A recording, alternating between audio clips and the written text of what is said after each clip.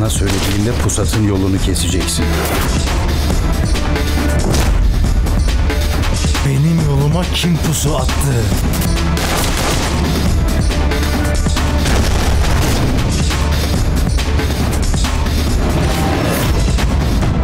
Kurtlar Vadisi Pusu 227. bölümüyle bugün 360'ta.